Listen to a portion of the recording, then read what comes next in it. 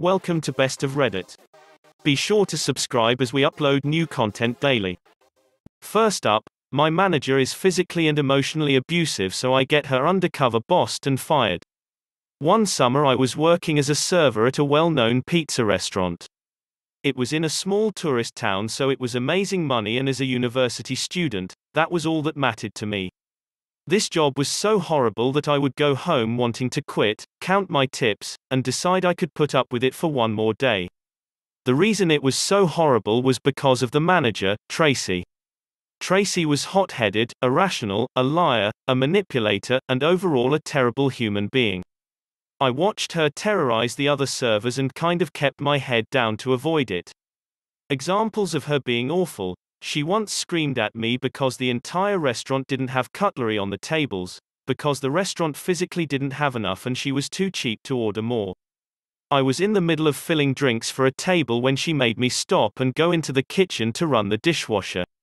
She then yelled at me because that table didn't have full drinks. This all happened in front of a guest who ended up saying something to Tracy about her behavior. After Tracy left, the guest assured me that she was going to be reporting her once another server was running her food. Tracy physically grabbed the server by the arm and pulled her back into the kitchen because that server didn't run the ticket before hers. They got into a screaming match and the cops were called. The server sent me photos of her bruised arm the next day. Tracy played the cops like a fiddle and was like, that never happened, and batted her eyelashes. I'm not sure how she got away with that. My sister was the hostess and was only making $12 a week in tip out. The other servers and I did the math, and my sister should have been taking home $40 a night. Ironically, Tracy had a new boat and a new truck. My sister messed up, I don't remember how, and Tracy took me into the back of the restaurant to scream at me. We were out there for a full 15 minutes before the supervisor told her they needed me back. This supervisor was an angel and she comes back into the story a bit. This was a while ago, and I'm sure I'll think of more, but for now I will continue with the story. Tracy's reputation in the town was awful. The locals would not eat there because of her. In a small community, everyone had a story about her. I would get sympathy when people found out where I worked. So that tells you just how bad it was. Supervisors told the franchisees about how bad the working conditions were, but every time they would investigate, she would turn into a completely different person. She was kind and helpful, and working for that side of her wasn't so bad. But when they weren't there, the working conditions were awful again. It seemed like they would never catch her in her natural element. The revenge part of my story began on my last day of work. We had a health inspection and failed, so I knew Tracy would be particularly awful that day. I looked at the angel of a supervisor and told her that if Tracy screamed at me, then I was walking out. The supervisor said she wouldn't blame me and didn't know why I had put up with it for so long. So, anyways, Tracy gets in, and of course, she starts yelling at me until I start crying. I finished my last table and walked out, taking my sister with me. Down two staff members, the restaurant was in trouble. We drove by it 30 minutes later and there was a line up out the door because there was no hostess seating people. Tracy had to seat people and serve my section. When I got home, I messaged all the staff that had quit over the summer. I told him that I was whistleblowing and that they should too. The girl that was physically assaulted ended up writing a letter and sending photos of her bruised arm. My letter ended up being two pages long, single spaced, and included everything I've mentioned, with emphasis on her having two different personalities when the franchises were there. A few months later, my sister got a message from the dishwasher saying that Tracy got fired and the angel supervisor took her position. Because of that, I decided to go back the following summer. I was hired immediately. While working there, I discovered the results of my actions. The restaurant was rated the lowest in the country under Tracy's management. This, coupled with the whistleblowers and the civilian complaints, resulted in serious investigation. I don't remember how high up in the company he was, but a higher up ended up going to the restaurant under the intent that he was a new supervisor coming to help because she was short staffed. He observed her behavior for two weeks. After the two weeks, he told her, Here's the step by step plan of how we're going to fix the restaurant. Her response was, Who the F do you think you are? I guess when he told her, the expression on her face was priceless. I wish I saw it. Anyway, she obviously got fired and is now working at a fast food pizza place in the same town. The place is always empty because the locals still actively boycott her. Moving right along, next story, almost make me infertile. I'll ruin your relationships. A long time ago, I was a young man in an all boys secondary school. I was about 14 for any international readers, and my friends and I were regularly bullied by a large group of older guys. Being typically nerdy boys, we were prime candidates for bullying. The only saving grace was that we were quite a large group ourselves, so no one person was targeted more than any other. Unfortunately, that didn't matter as the bullying was brutal. On our school grounds there was a small cabin that belonged to the local Boy Scouts that we used to hang out around on our lunch break. One day we had a run-in with the bullies when they tried to steal our football. For daring to not hand it over I was singled out for punishment, so I was grabbed by four of them, one each grabbing an arm and a leg and carried round the corner to a small courtyard with a flagpole in the middle. After a few punches for struggling I was swung backwards and forwards a few times before being swung legs apart and full force into the pole. Any attempts to describe how painful that was wouldn't do it justice. Thankfully one of my friends had made a run for a teacher and they were spotted coming towards the group by a lookout before they had chance to take another swing and they dropped me and legged it. I was carried to the school office nauseous and in tears and my mum was called. She found me with an ice pack between my legs and ghoulies the size or oranges. As she was talking to the receptionist and teacher, my friends ran up to me and passed me a mobile phone.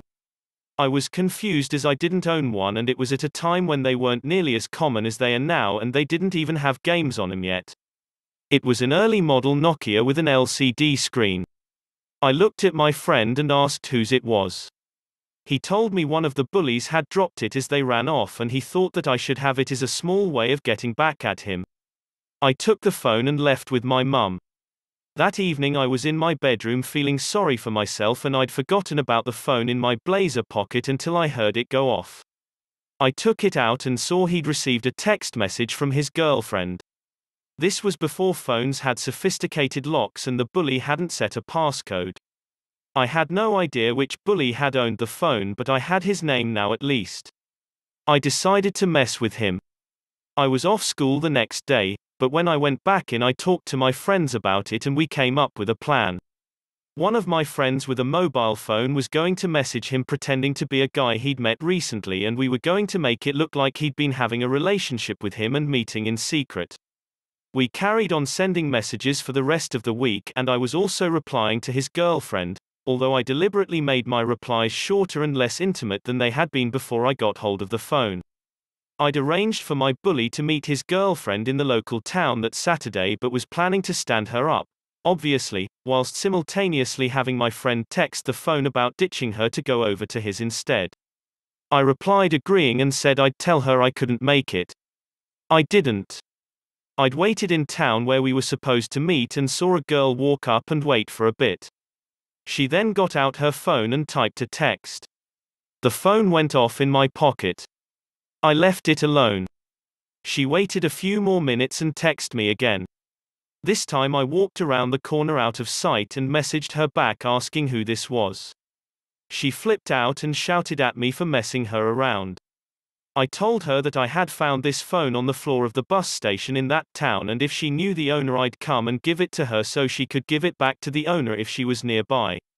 She told me where she was and I waited five minutes before walking around the corner and looking around for her. Eventually through texting we found each other and I gave her the phone. She thanked me and we went our separate ways. On Monday I told my friends that we'd pulled it off and we just had to wait and see what happened. It wasn't long into the week when gossip started spreading through the school. The bully's girlfriend had read his messages, it seemed, and had dumped him for having a gay affair. On top of that, she'd done it by going to his house on Sunday and calling him out in front of his parents, who it turns out, were not fans of that sort of thing at all. When he denied it, she pulled out the phone and read out message after message. His claims he lost it over a week ago were ignored and I was not suspected.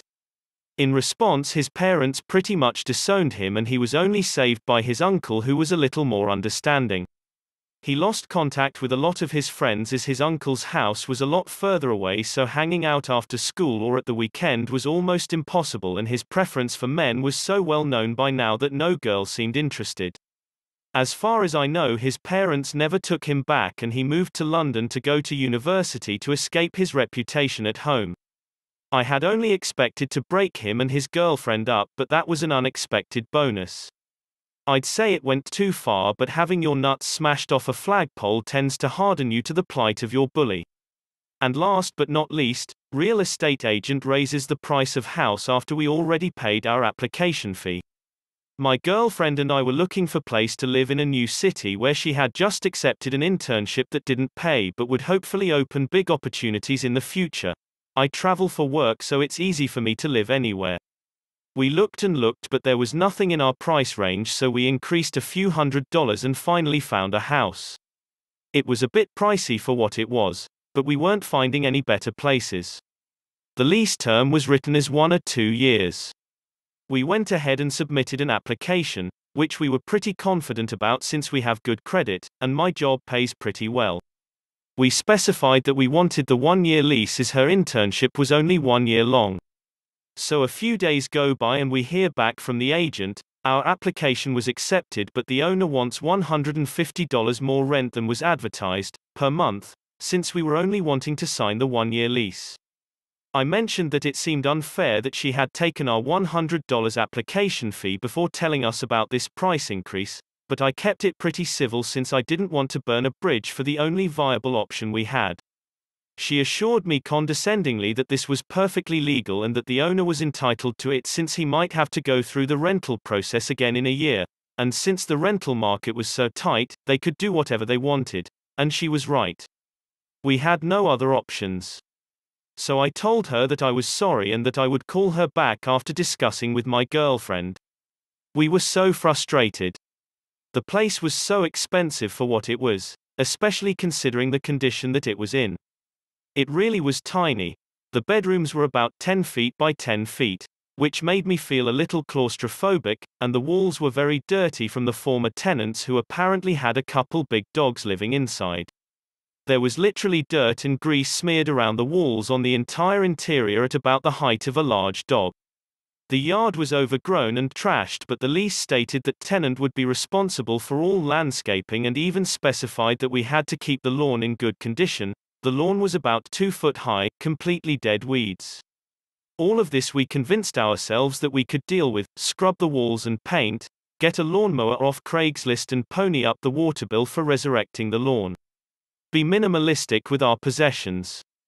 Hopefully the new paint would take care of the lingering dog smell. We had paid $50 each for the application fee and now felt as if we had been bait and switched, but had no other good options and our deadline was coming up fast. My girlfriend was crying and we both felt like homeless misfits that were terrible at life. I couldn't sleep in our hotel that night, but when I pulled up my bookmarked Craigslist housing searches, I saw something new. A place that looked nice, and was about $500 cheaper than the house actually inside our original price range. I cautioned myself that it was probably a scam but sent an email anyways and in the morning got a phone call from a nice old man. I set up an appointment and it was great, spacious, clean, and much cheaper. The landlord liked us and we signed a lease the same day. We felt so lucky and happy. We were still angry about the other house. The agent had taken our $100 and raised the price on us, probably because she knew how tight the rental market was in the area and that we may not have other options. It had been just one day since she informed us about the $150 monthly price increase. I typed an angry email about how we were bait and switched, etc., but knew that it probably wouldn't get us our $100 back and that they would probably barely even read it. I asked my girlfriend if I should send it. She then came up with a brilliant plan for revenge do nothing. First I deleted the email without sending it, and we moved into our new place. A few days went by and I got a text message from the agent of the other house asking if we were still interested. I replied that we were still very interested and that we had gone on a trip but would be back in a week or so and would meet up to sign the lease then. She replied that since we were well qualified that would be fine as long as we were sure we wanted the place. So we started settling into our new place and enjoying ourselves. About 10 days later I received a call from the agent who seemed to have forgotten about us until then and she was frantic about getting the lease signed. I made up excuses. My girlfriend was very ill. We need a few more days. We are still 100% interested, and I will call her on Monday to set up a meeting. On Monday, I typed up an email Sorry, but we decided not to move in after all. Thanks, anyways. My girlfriend and I smiled nervously together as we shot the email off. The phone rang almost immediately, it was the agent. I exchanged glances with my girlfriend and answered it, putting her on speaker phone. She was very upset that she hadn't shown her place for over two weeks and that her well qualified tenants were dropping out. She pleaded with me to reconsider. What if I dropped the price back to the original price in the ad? She asked with desperation heavy in her voice. I pretended to think about it. I looked over at my girlfriend and she was silently laughing and hiding her face in her arms, overcome with emotion. I could feel the tension on the line as the agent hung on my next words. Yeah, sorry, no. I cheerfully declined. The agent was distraught. I hung up. My girlfriend's plan had worked perfectly. We felt avenged. Next time maybe she'll think twice before bait and switching.